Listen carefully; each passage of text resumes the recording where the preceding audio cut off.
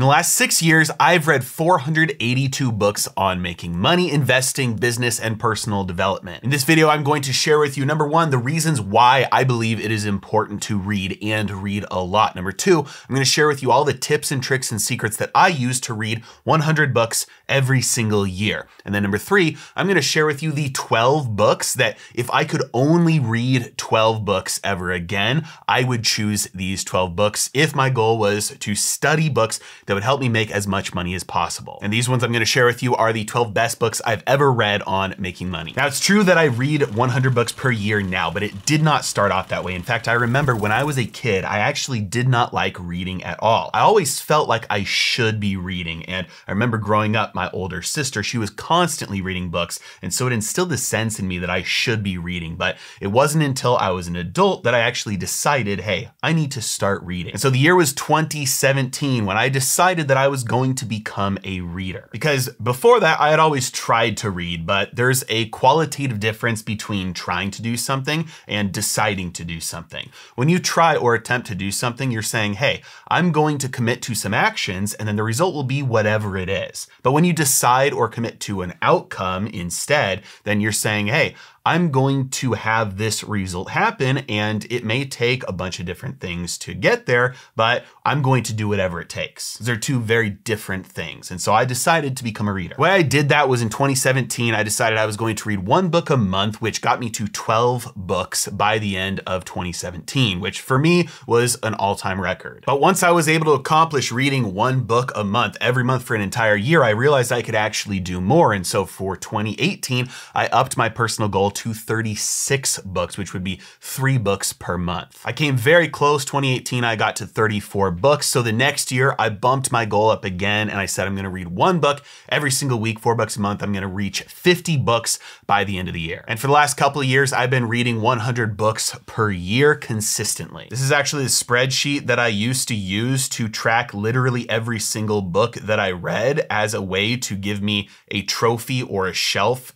a checkbox to mark off because just being able to say, hey, I hit my goal gave me the motivation I needed to continue reading. Now I don't do that anymore because it's just a habit. I don't need that to motivate me to read anymore. But as of right now, I've read just about 482 books, and the vast majority of them have been about money, investing, business, or personal development. Now, if you're keeping track, it took me almost four years to build up the reading muscles that it takes to read 100 books a year. And so if you're sitting there thinking, ah, that time is daunting, that's such a long amount of time to wait to get to where I wanna go, well, guess what? The time will pass anyway. So never be discouraged by the amount of time it'll take you to get where you want to go because that time is going to come and go no matter what. Now, the next question that needs to be answered is why is it important to read? And the number one reason why it's important to read is because leaders are readers and readers are leaders. When you look at every single person who has had big influence in the world and built up a legacy and made a bunch of money, almost every single one of them is a massive reader. And as long as you're not reading just fiction books for entertainment, then it's true that the more you learn, the more you earn. I'm sure you've all heard the adage that you are the average of the five people that you spend the most time around. Well, it's also true that you can choose to spend your time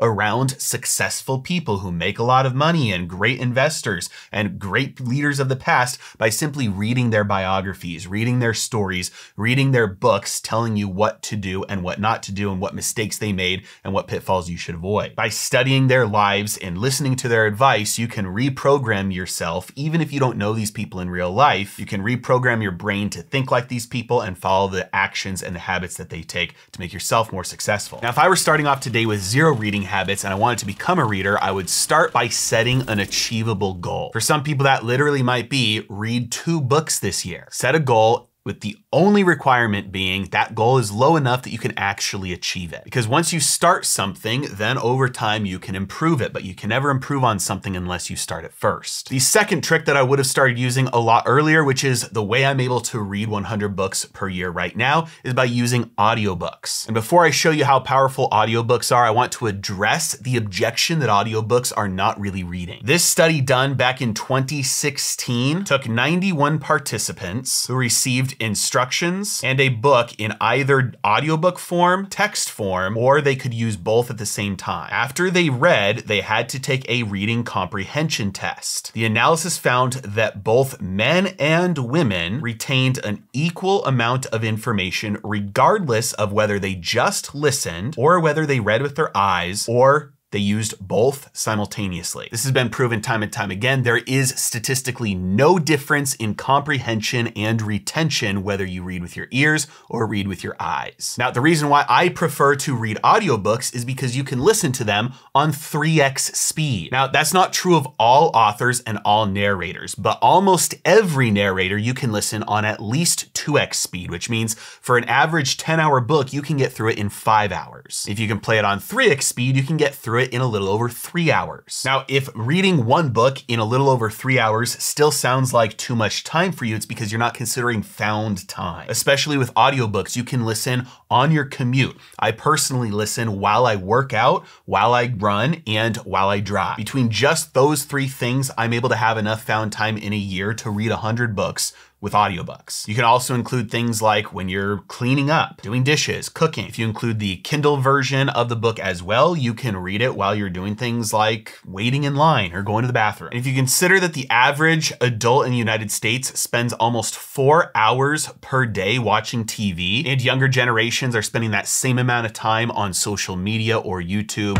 or Netflix, you start to realize how many hours in the day are wasted doing things that you can replace with reading if you actually want want to. And I personally credit these next 12 books that I'm going to share with you with assisting me in every single large or significant increase in income or wealth along my journey. They don't do it for you, but sometimes it's helpful to have somebody point to you where the next step is. All right, so if I could only read 12 books again, the first book that I would choose on my list is Atomic Habits. Atomic Habits by James Clear is the single best book you could choose to give you the tools you need to to improve your life in any area, whether that's income or something else. One of my favorite quotes from this book is new goals don't deliver new results. New lifestyles do. And a lifestyle is not an outcome, it's a process. For this reason, all of your energy should go into building better rituals, not chasing better results. He also highlights the importance of starting small and then improving along the way. Because every time you improve just a little bit, you're improving off of your past improvements. Consider that if you take one and you multiply it by one 365 times, you are not improving at all. You are just doing one over and over again. At the end, you're still left with one. This is the idea of doing the same thing over and over again every single day without ever trying to improve. You're in the same place you were before. But if you improve by just 1% every single day, that means you're taking one and multiplying it by 1.01 every single day for 365 days straight. After doing that consistently every day for a year, you are at 37.7. The next book on my list is The Almanack of Naval Ravikant. Now, this is technically a book, but it is a collection of explanations that came from one of Naval's tweet storms back in 2018 that blew up called How to Get Rich Without Getting Lucky. Some of my favorite chapter topics from this book are understand that ethical wealth creation is possible possible. If you secretly despise wealth, it will elude you. And you get rich by giving society what it wants, but does not yet know how to get at scale. And finally, fortunes require leverage. Business leverage comes from capital, people, and products with no marginal cost of replication, which comes from either code or media. This book is packed full of wisdom and real actionable steps you can take to improve your income and your wealth. The next book on my list is Skin in the Game by Nassim Nicholas Taleb. Now, I will say this one I'm kind of cheating because this is the book that I'm choosing. However, any of his books are absolutely fantastic. I highly recommend all of them. Black Swan, Anti-Fragile, Skin in the Game are my three favorite, but Skin in the Game sits at the top for me. My favorite quote from the book is, finally, when young people who want to help mankind come to me asking, what should I do? I want to reduce poverty. I want to save the world and similar noble aspirations at the macro level. My suggestion is number one, never engage in virtue signaling. Number two, never engage in rent seeking. You must start a business, put yourself on the line start a business. Years ago, Gallup did a poll around the entire world, even in poverty stricken places like India. And do you know what the number one need was that people self identified? Not food, not water, jobs. Humans do not like handouts. Humans do not like being dependent on other humans. Humans want the dignity of being able to provide for themselves and for their families. If you want to make a difference in this world and actually help people, create jobs.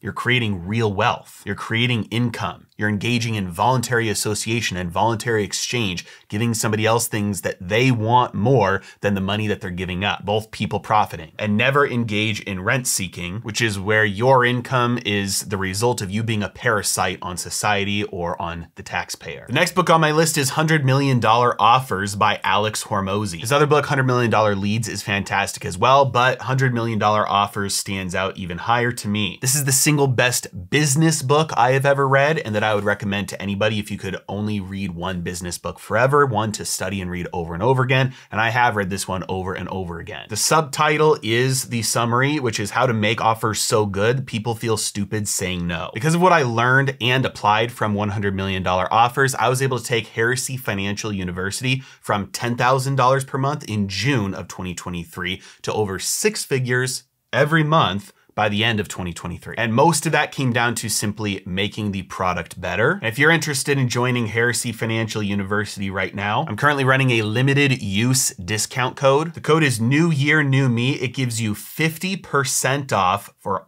all payments every single year in perpetuity. And there are a limited number of these coupons available. When they run out, they are gone. Code New Year, New Me. Jump on it now. It's going to run out quick. The next book on my list is The Fiat Standard. Now, I'm cheating again because he's also written The Bitcoin Standard and Principles of Economics, and they're both absolutely fantastic. The Fiat Standard does happen to be my favorite of the three. Saifedean Ammous is an amazing author, able to break down very complex economic topics in a nuanced way and explain them very clearly. If you want a firm grasp of economics, economics from how money works, the history of money, the positives and negatives to different types of financial systems throughout history, where we are today and why, and the alternatives going forward into the future. I cannot recommend anything more highly than Saifedean Ammous's The Fiat Standard. Understanding how the economy works is one of the key foundations you need to being able to invest successfully long term. And nobody does that better than him. The next book on my list is Principles for Navigating Big Debt Crises by Ray Dalio. If you're not familiar with Ray Dalio, he is the founder of Bridgewater, that is the largest hedge fund in the world. Extremely successful long-term investor and business builder, and a lot of his investing success comes from his studying of past debt crises and financial cycles. He has written two other books, one on principles, just leadership and life in general. That one's pretty good. And then another book called The Changing World Order. That one is very good as well. But my favorite of his three books is Big Debt Crises. Absolutely essential if you want to have success investing into the future, especially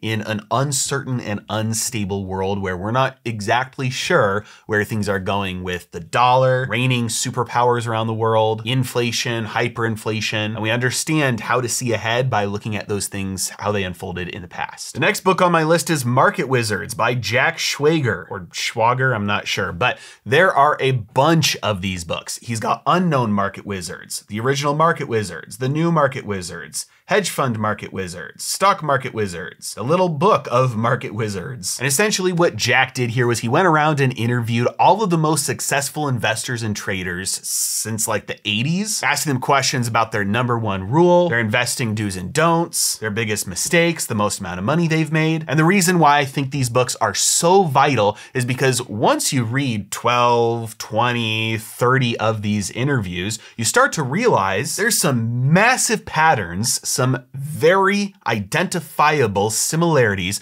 between all of the most successful investors and traders throughout history. Risk management is number one for every single one of them. None of them ever open themselves up to large losses. Now, they all mitigate those risks of losses in different ways, but that's all of them. That's their number one rule. And so I highly recommend studying these market wizards through Jack Schwager's books. And if you're going to start with any of them, I'd start with the original Market Wizards. The next book on the list is Safe Haven, Investing for Financial Storms by Mark Spitznagel. Mark Spitznagel runs Universa. It's a hedge fund that him and Nassim Taleb, if you remember He was the author of the books that I recommended before, Anti-Fragile, Black Swan, and Skin in the Game.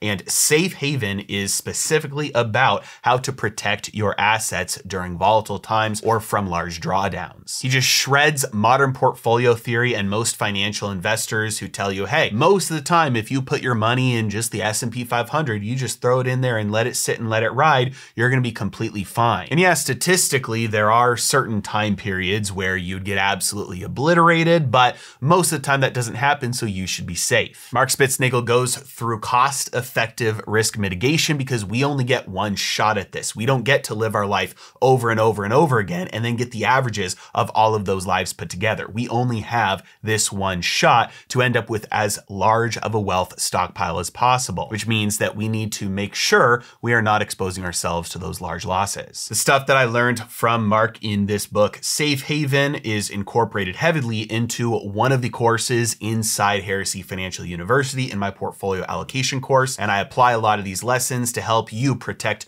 your portfolio and your investments from large losses. The next book on the list is You Can Be a Stock Market Genius by Joel Greenblatt, which is just the cringiest title for a book that tries to teach you about investing. But this book is actually the book that Michael Burry read. And as a result of reading Joel Greenblatt's work, You Can Be a Stock Market Genius, genius, Michael Burry went on and founded his hedge fund that he went to short the housing market with before the great financial crisis. And Michael Burry specifically credits Joel Greenblatt with getting him started on learning how to invest. The next book on my list is the only fiction one, and I had to include a fiction one for those of you who love stories, and this one is Ayn Rand's Atlas Shrugged. This is basically the capitalist manifesto. If you want a fictional book that highlights the truths of entrepreneurship and the ethical morality of building wealth and how to actually help and save the world, there is nothing better than Atlas Shrugged. Next book on the list is Never Split the Difference by Chris Voss. Chris Voss is an ex-FBI hostage negotiator, and this is my favorite book on sales. Sales is the ultimate safety net, and no matter what business you're in, if you can learn sales, you will make more money, even if you're not directly in a sales position, although I would recommend everybody getting into a sales position at some point in their life because that's gonna help you make more money than anything. And Never Split the Difference by Chris Voss teaches you actual applicable skills, tactics, and tricks that you can use to make more money in a negotiation, which is basically everything in life that has to do with money. And last but not least on our list is When Money Dies by Adam Ferguson. This details the story of what happened in the collapse of the Weimar Republic when they experienced all of the hyperinflation.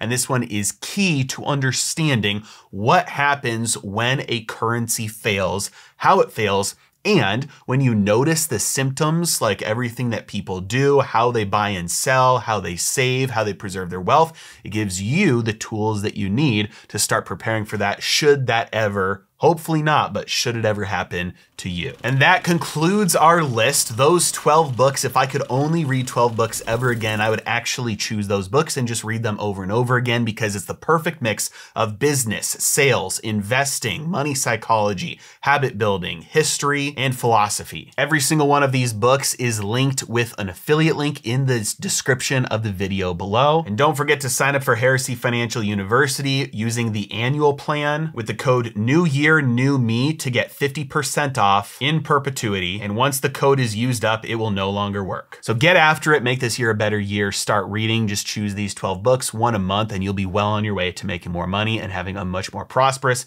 and successful life. As always, thanks so much. Have a great day.